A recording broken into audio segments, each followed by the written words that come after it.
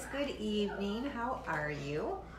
Welcome to our Sunday edition of our weekly get together. This is Deanne from This Farm Girl Cooks coming at you live from DeKalb County, Illinois. And I'm going to just tap into my computer screen so I can see as people join. And as long as you guys can let me know that yes, you can hear me well, and yes, you can see me, then we'll get started in a minute. But this should be going on in the kitchen nook. So this is for our private community. Um, I kind of bounce back and forth between both groups. And it looks like it's showing on my screen if you're joining. Hi Tara, can you hear okay? Give me a thumbs up or a, or a hello. Um, because tonight we are going to be talking about fridge organization. Um, mine looks all shiny back there, but it's actually in needing of a clean. but I decided to keep it pretty realistic. And uh, I didn't want to clean it and have it look like some kind of perfect, uh, perfect fridge. So um, I don't know why it looks so shiny. It is just maybe the way the light is hitting.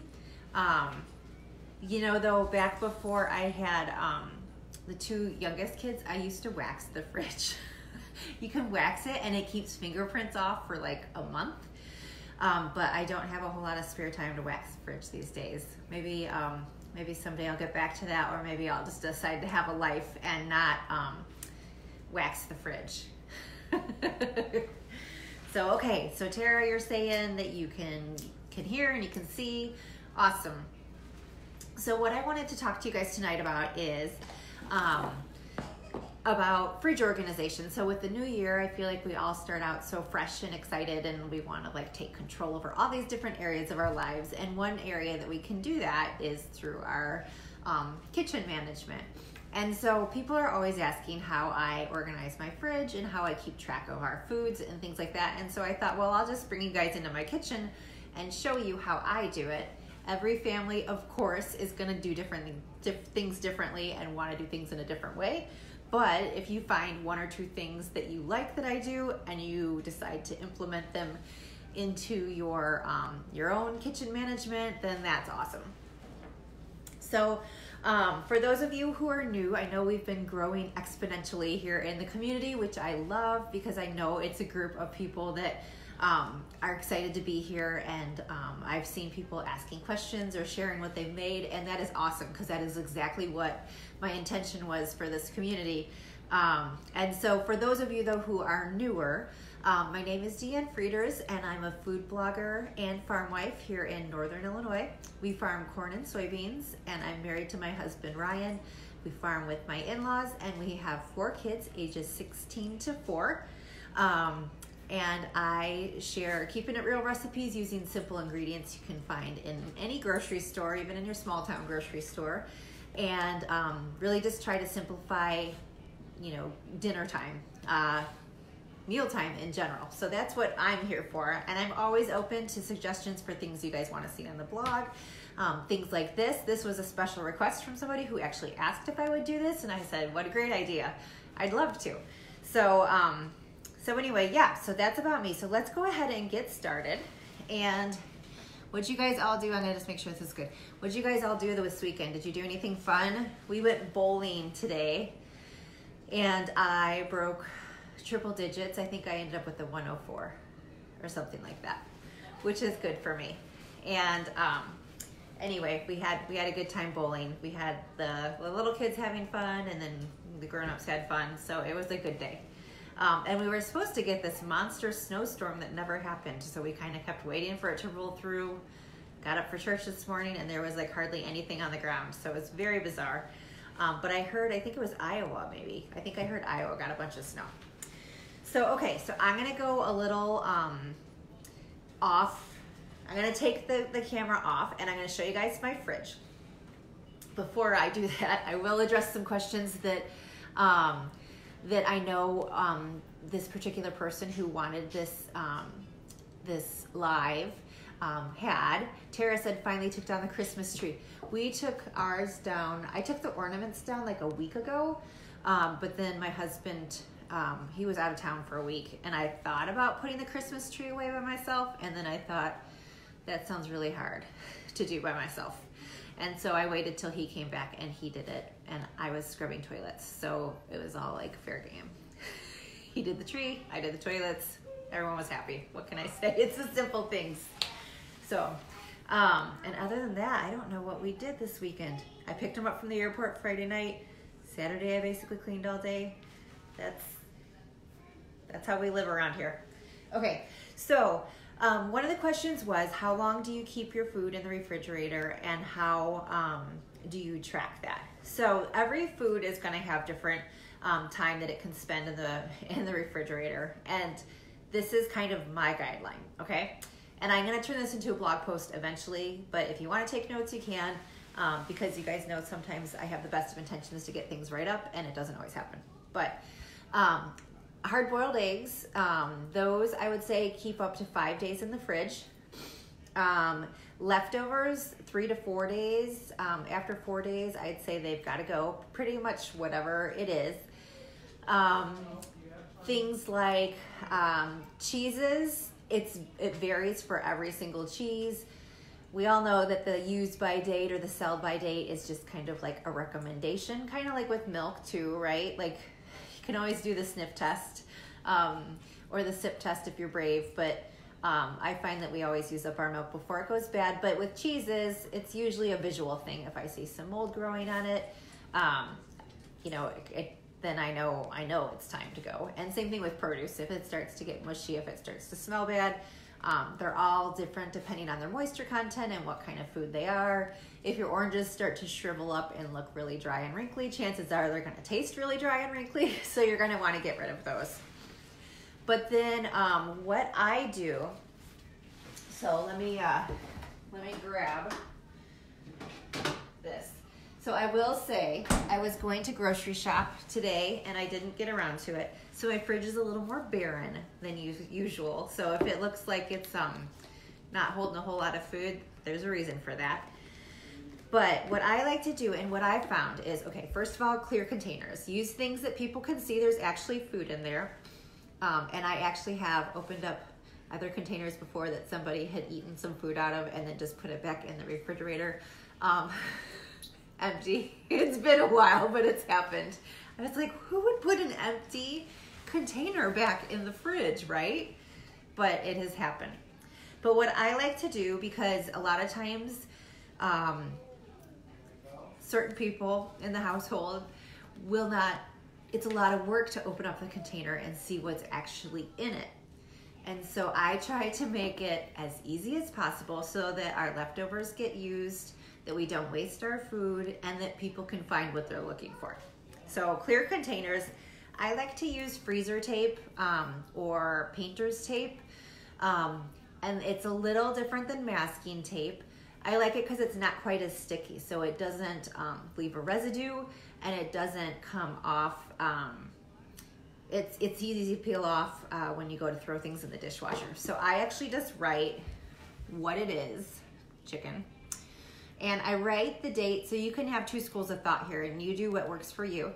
But you could either put the date that it went in and know, okay, it's going to be good for four days, or the eat by date. And that would really be an eat by date.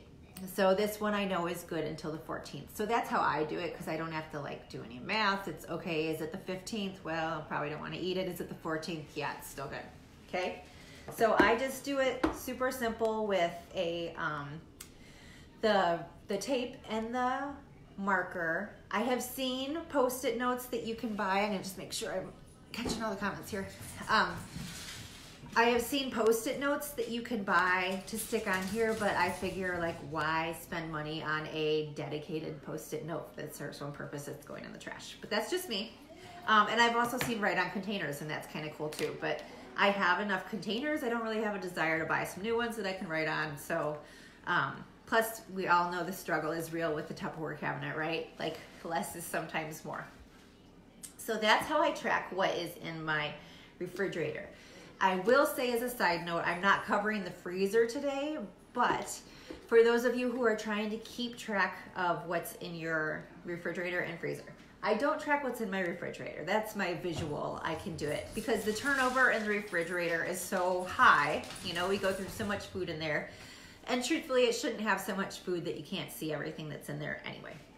Um, because, well, from a practical standpoint, if I if I throw way too much stuff in my refrigerator, it almost like sometimes like the, the spinach or our lettuce will freeze and things like that. So like it, you know, it's it's no good when that happens anyway. So I try not to overpack it. And we do have a fridge in the garage for things like our sodas and um, desserts and things like that that we don't need um, right right away.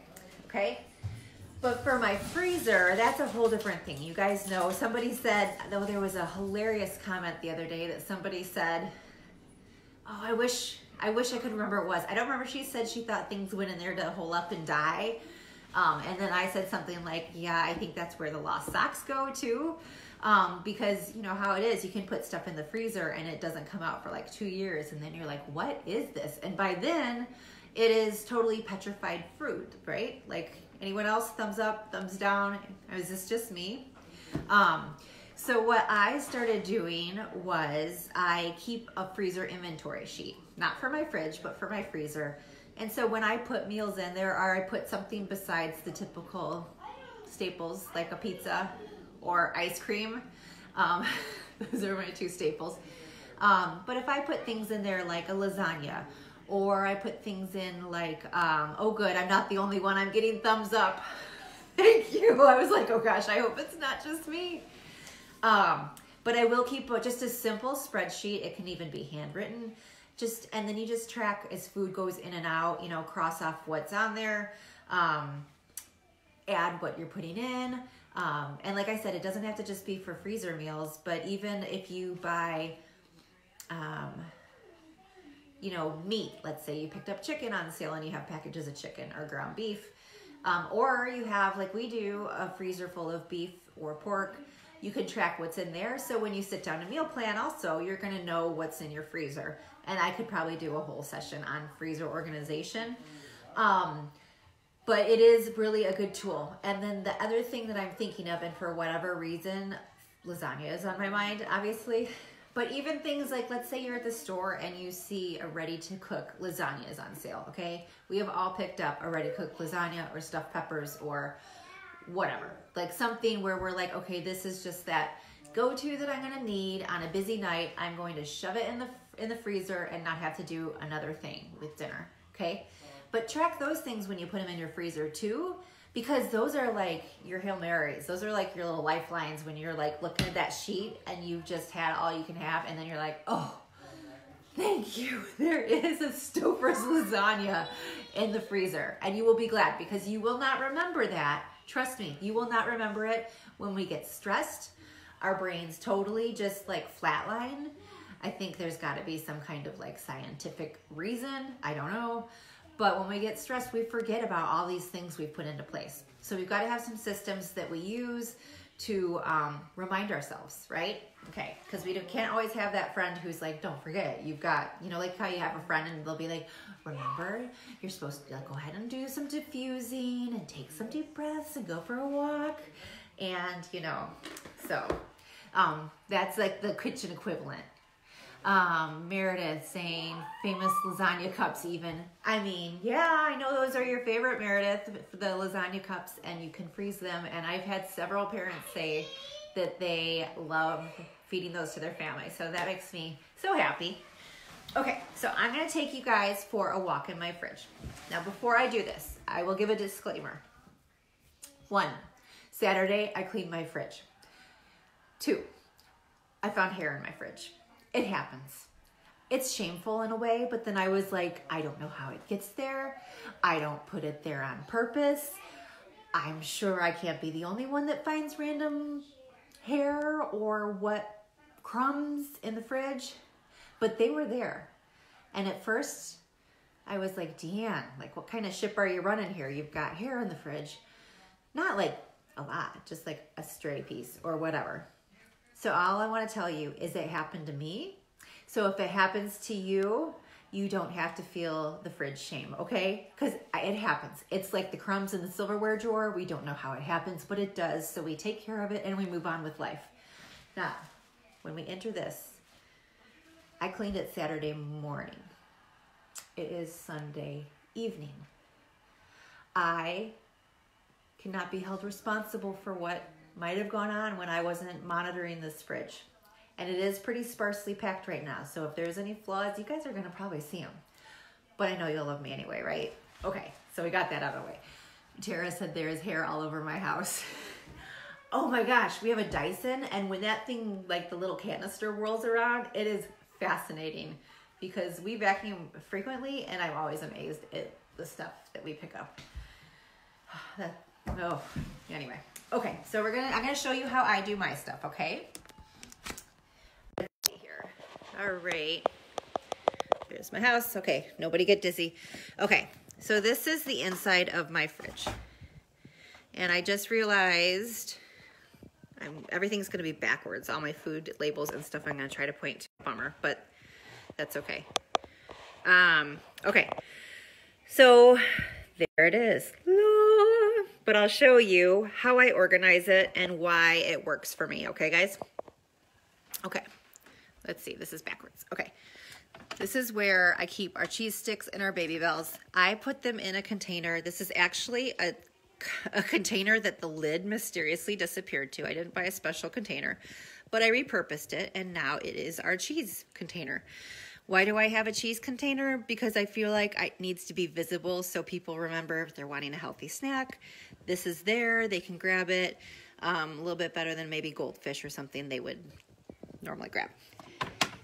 Okay, these, this, this is kind of tricky because I'm doing this backwards, but this, favorite, favorite, favorite. I use these in my pantry. I use these in my refrigerator. I use these in my basement. But what I love about this particular one, um, you can find them on Amazon. You can find them at TJ Maxx for really great price. I get really excited when I find them. I was there tonight and they have them. Um, this one I like. There's all sorts of different sizes, but see how it goes all the way to the back? So like, otherwise this space is just like dead space. But because this goes from the front to the back of my refrigerator, it is wonderful. So we can even, if we're all eating breakfast, let's say on the weekend or on a busy morning, I can just pull this whole thing out and have yogurts for people and they can pull what they want. Then I pop the whole thing back in the fridge and people don't stand there looking at the fridge like it just hatched some kind of new food that they never knew existed with all of the electricity going out.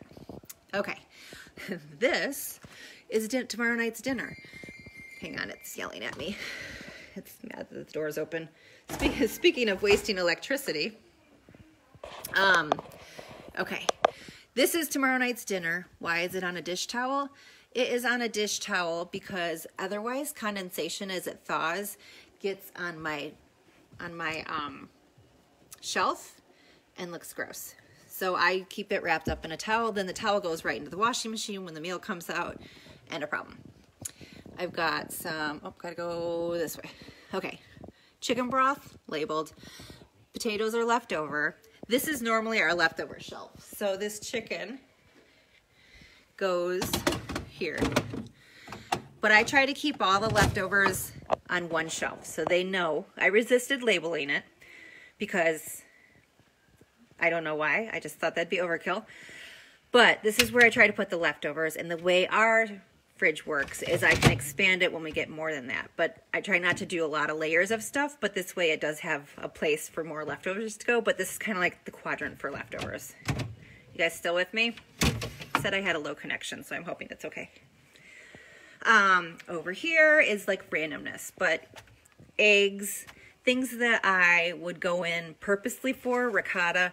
This isn't like my day-to-day -day stuff that I'm going to be like in and out of, okay? We're going to move on down. My favorite part, and I started doing this a couple years ago, is the Lazy Susan in my fridge. And it is wonderful because otherwise what happens is all this stuff gets shoved back in the corner and you forget it. And then you go buy some more garlic or you go buy some more salsa because you, you know, forgot that you had it. So the, the Hershey's syrup is centerpiece. Lots of times I'll have olives and stuff. I do usually keep lemon and lime juice just in case I don't have um, fresh, um, you know, fresh juice or whatever. Sarah, yay! Okay, you can still hear. Loving my Aldi stuff. Yes, I'm like a walking advertisement for Aldi. um, I have even done where there have been two of these. I had one at one point that was con and had another that was, you know, like the regular stuff. So anyway, really, really love this. This is not a special fridge Lazy Susan. It's just a Lazy Susan. This is my like special little beverages. I've got mint infused tea and some kombucha. And then I've got our milks and our juice over here. Veggie drawers, pretty standard stuff here, right? Fruits and vegetables. I do like keeping like a little bowl or something for the, the these things so they're up front and I can remember um, why what I have. Okay. And sometimes I have bins, kind of like the upper one you saw, to do like different kinds of fruits and vegetables, but I think I needed it for something. Oh, I know why. I redid my cheese drawer. You got, hang on. I gotta turn this around. Let's see. Okay, yes, I redo my cheese drawer. I think it was a Friday night activity, and that's how wild I am. Okay, carry on. Okay, cheese drawer.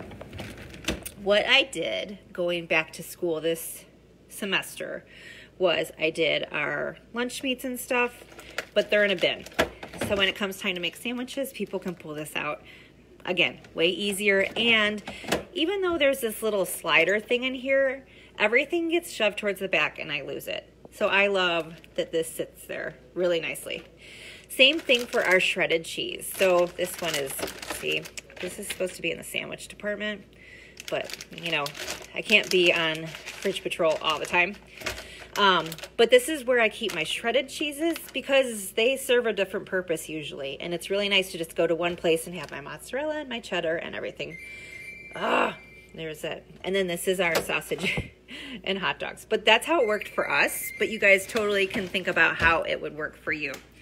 Um, okay, Emma. Yeah, yeah, yeah. Okay, then um, the door is pretty standard. We've got our butter, um, fingerprints on there. See, we're human. Um, I try to keep all our salad dressings. I even have homemade salad dressing in case anyone needs Greek. And then the jam, because we use that every day. I don't know why it goes there, but it just does. So this is like all of our dressings. Then this is all of our like ethnic condiments. Yes, they are grouped because otherwise I forget I have them. Sometime when I'm like, hey, do I have teriyaki sauce or do I have sweet chili sauce? I know where to look for it. And the maple syrup's there. Again, random. I don't know. Maybe the syrup should be by the jelly. It's just where it is. And then this is like everything you need for burgers, hot dogs, whatever, that kind of condiment. So I try to group everything alike.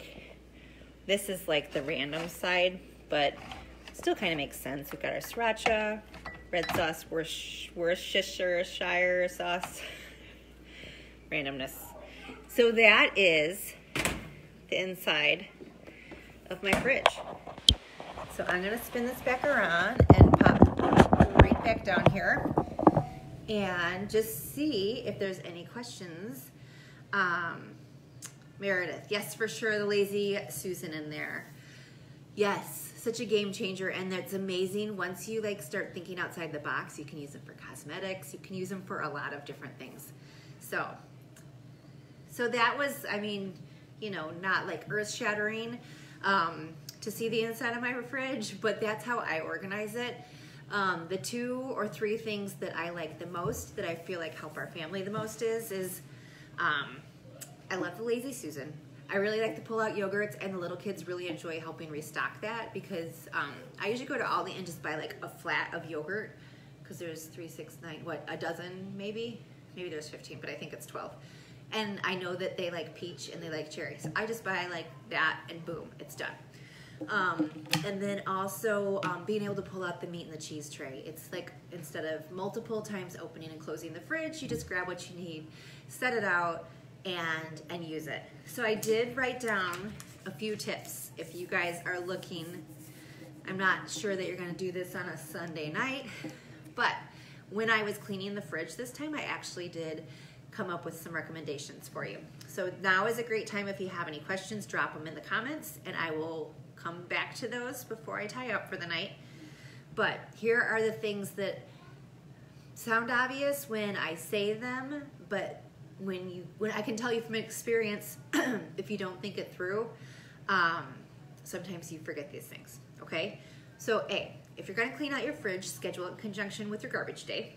Okay, that's always good, especially it's not so bad now when the weather is cold, but when it's hot, you don't want smelly, stinky food out in your garbage. So schedule cleanup when you're gonna clean it out because I did find old cheese. I found some um, condiments that I was kind of not sure of which year they came from, and so therefore those um, went away. I found um, a zucchini that was no longer even looking like a zucchini.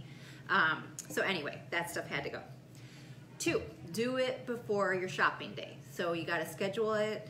Here's where we get like into our logistics, but you're gonna schedule it before your shopping, before your garbage day and before your shopping day because you don't want to have the whole thing loaded up with food and then have to pull everything out to clean it. And then you've got like all these groceries everywhere, okay? Um, three, clean top to bottom. So if you're gonna wipe the shelves down, start at the top. If you're gonna pull the shelves down and give it like in the wash, like in the sink with some dishwater, go top to bottom. Um, you know, you just take shelves out one at a time. You take out the um, take out the stuff from the top shelf, wash the top shelf, dry the top shelf, put it back in, put the stuff back in. Um, it's a lot less stressful than having the entire contents of your fridge, which X amount of dollars, right? How much money is that? Um, that you have sitting out there just like waiting for you. Um, so it's nice if you just do it one shelf at a time. Um, let's see. Okay, remove expired items. We talked about that. I really like designating an area for leftovers. That's really helpful for me. Um, and then label the um, leftovers with the date and the name. Um, and what does this say on the last one? I wrote it. I just can't read my handwriting. Oh, okay.